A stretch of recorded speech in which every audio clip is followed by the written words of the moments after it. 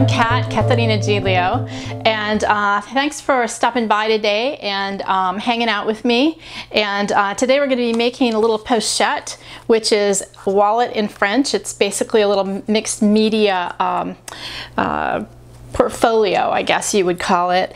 And uh, I use them to corral all my little sketches. So we're gonna make that today. But first I wanna thank you all for your thumbs up, your likes, your shares. Oh my gosh, all your shares. Thank you for sharing um, our channel with so many people and your comments. I love interacting with you and talking to you guys. I've made some great friends on YouTube and uh, you know who you are. So we're gonna get to work on this right away. So I'm going to start by giving you a little traipse through my pochette or my mixed media portfolio if you prefer to use that. Um, and this is one I made a few years ago and this week I was I was gathering up some sketches that I had and I thought, you know, I need a new one. So I thought I would make that uh, today and I thought, well, you might want to see how to make it. So, uh, so I started with an old book and then all my little sketches um, live in here. Um, I sketch all the time and I'll tell you more about that once we get started but it has this cute little pocket in here um, and it's got little papers and, and you know all kinds of little things that I do um, and then a little secret uh, place at the back too so it's kind of fun and uh, so I thought you might want to make one too to hide all your little sketches and keep them all tucked away. It's a fun little project Okay, so first things first, you have to have an old book. This is uh, a 1932 grammar book, and um, we're going to just gut it. How many times have you seen me do this? So what I love about old books is that they, hope you can see that, they fall apart. They come away from the uh, spine, so they're really easy to take apart. And you don't want to cut it uh, too too far because if you do then you'll cut into the spine and we want to save the spine and not cut ourselves. And I'm just using a box cutter. You could use a, and we're really filming today so you might hear some thunder because we've had a lot of uh, rainstorms. So, and we're hoping for rain. We want rain. We can definitely use rain. So I like having, I doodle all the time and I like having something to put all my little doodles and drawings in. Um, part of the reason that I do it is when I'm feeling stuck in the studio, I pick up a pencil and uh, or a pen or something and I I start to uh, sketch and draw or paint or just do some doodling. And uh, I, I, don't I don't call it a block. I don't think of it as being a, an art block. I, I just it's energetically a place where I what I want to happen um, is not the same thing that my muse wants. And so I just have to move past that. So I just come in and start playing and, and goofing off and and drawing. And so a lot of these sketches I'll use for other things and um, so I just keep them all together so that I know where I can find them. And it's just, it's just fun having a little place for them to go. Okay, so we've got that all ready. And then what I loved about this little pochette was the uh, paper on the book. So basically I painted this and uh, covered it so you couldn't see the title. Um, and then um, just use that paper on here. But today I thought it would be really fun to uh, use some paper that I got in, in Italy I just love this handmade paper. And what I really love about it, and I hope you can see this imperfection here on the paper, these are handmade papers and they were just dyeing them and then setting them out to buy. And I just loved it that they weren't all perfect. So, so we're gonna use this to cover and I thought it would be really fun to just do the edges like this and um, and kind of recreate this because I'd like to make a whole series of the little pochette. So basically I just want a little bit of an edge and I'm going to cut the paper. Before I did that though, I used gel matte medium. And by the way, all of the products that I use today um, you can find on the comments. um, just below um, the video. So um, you can get this um, on Amazon if you want it. And it's a matte medium, so it's not shiny. Um, not I'm not big on shiny stuff. So um, anyway, so we're just gonna cut this down. I, I gel medium just the front. You could do the back as well, but I think that the front will be fine because it's gonna get a lot of wear, the edge, and we're just going to reinforce the corners. So I'm going to cut that up. Um, and when you're doing this at home, you just want to measure where you want it to go. You want just a little bit of an edge because we're going to cover the inside. so it doesn't have to be super, you know, a super big edge, just a tiny bit. So we're just going to cut that up and we're going to use one for the back and we'll be right back. So I cut two pieces of paper that will just be my edges. And uh, I'm just trying to decide, uh, I'm going to use PVA glue and I'm just trying to decide how much of the book I want to show. And uh, I think that's probably good. So, yeah, I think that's good. So what I'm going to do is glue the book piece first. So I'm just going to use a brush with PVA. And uh, I want to be a little bit liberal with it. I want this thing to, to live for a while. So I'll put it this way. I think I like it like that. And I want to try to create just about the same amount on both sides. Hope you can see that. And yeah, that'll be perfect because we're going to cover the inside anyway. All right, so got that done. And now we'll do this and this. Get it all ready. And I'm just going to fold the edges in because that's the way I like it. You can do it a number of ways. You could cut it. There's all different kinds of things you can do.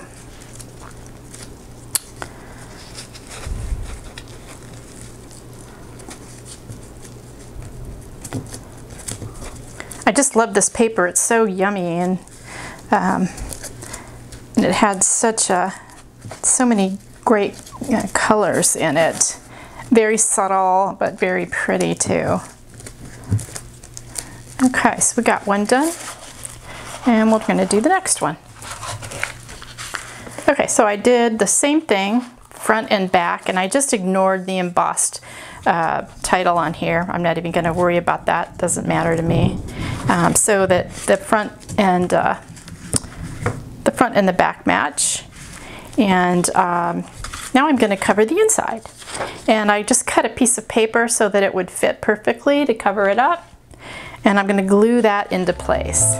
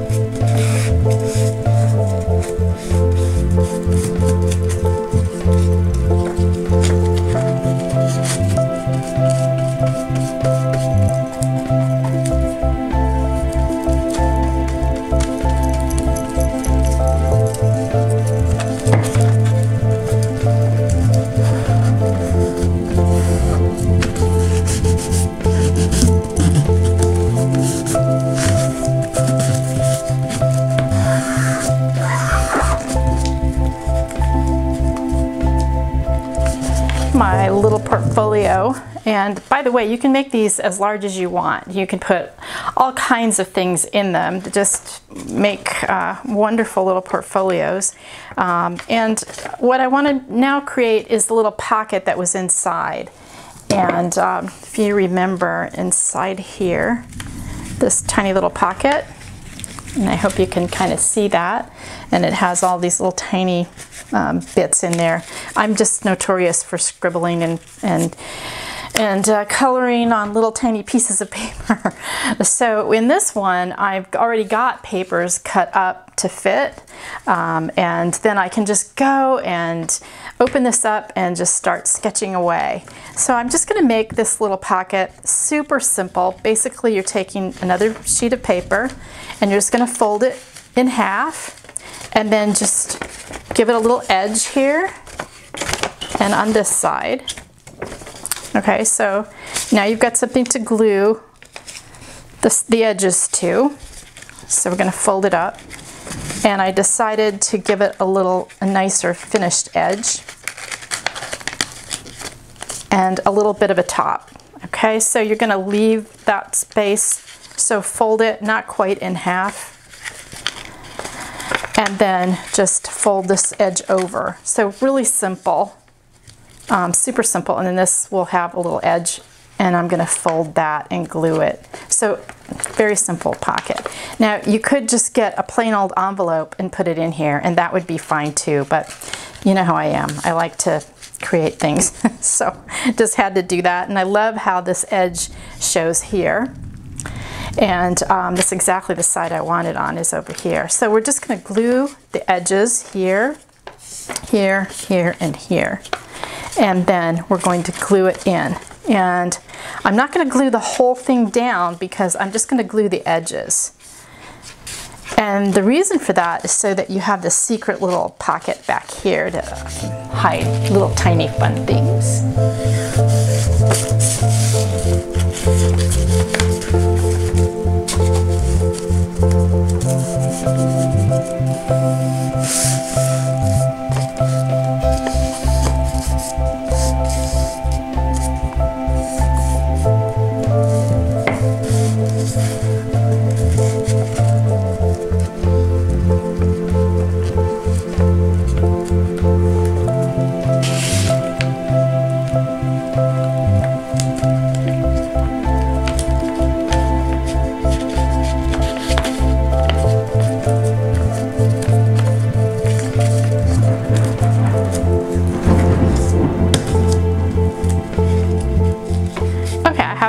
Envelope glued and now I'm going to glue it into my book. yeah. and uh, I'm real happy because I don't have to water today because the garden will need watering. Okay, so I'm just gluing the edge down, which is really fun, making a little secret place. And I'm going to put this in here, and I love the way the marbling shows up on this. Matches really well. Try to get it as centered as I can. Okay, and I'm going to push it down. And then the inside, okay, before it gets too completely dry, I'm going to stick my finger in there and keep pushing down on the sides because I want to give it a skosh of room. And that's just going to pull up slightly on the glue, um, but it's going to still stay glued. Okay, the same thing with the back, just slightly. Because you want to put stuff in there, so you want to give it a little, you want it to have a little bit of give. Okay, great. Okay, so I've got these really cute stickers in France, and so I thought I would put one here.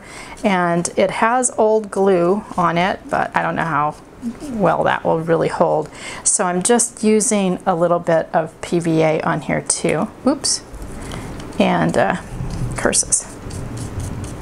Oh, it's gonna be a big flash and lightning in a minute. and I thought I would just put it right there. There we go. And then I can write doodling or sketches or something on there. But I thought it would look really cool. Alrighty then, we're just coming right along. And then if you remember on this pochette, I had um, used this ribbon, um, and this is actually a button. And um, I know you're thinking, okay, how did she do that? Because it's a button. Well, I just simply, I found this button, I really liked it and thought it would be really cute on the on the ribbon. Ooh, yikes! Um, and so all I did was I took these uh, wire cutters and I just broke off the backing and uh, just to make it flat just cut that part off because sometimes buttons are just so cool and so great to use and I didn't want to sew it. I wanted this whole thing, yikes!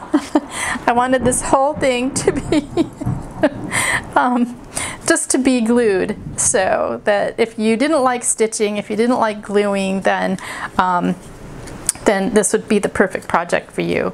And then I just found a couple of pieces of, this is a collage piece that I had done some time ago. And um, this is just a little piece of paper in a blue color. And so I'm just going to attach that to my ribbon. And I'm still using the PVA. You don't have to use anything stronger than that. Okay, so on my ribbon. And I'm just going to tie this together.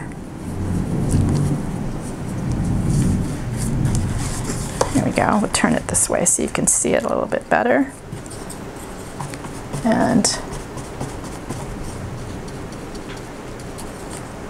and I'm going to put it on the button too. Now if you find that your button is really heavy, you might want to use E6000 or something on it. But this should be able to hold it really well. Oops. Finished. I'm going to let this dry and then I've got uh, some sketches to put in there and I've already pre-cut a bunch of scrap paper, all different kinds. Uh, and uh, one of the things that helps me um, to unwind and kind of get unstuck is to just take different kinds of papers and then experiment well what would my Inktense pencils do on this paper? Or what would this do? And then it's just there's no agenda you're just having fun and you're just open to the flow well, I had fun making this today with you, and I hope you have fun making one. I'm going to enjoy filling it. And um, if you um, create one, tag me on Facebook or Instagram. I can't wait to see what you make. Um, I just love seeing all your creations. And uh, we're at Ciao for now. So until next time, Ciao, dear hearts. Hi, I'm Kat, Caterina Giglio. Um, and uh, today, Go ahead. Delete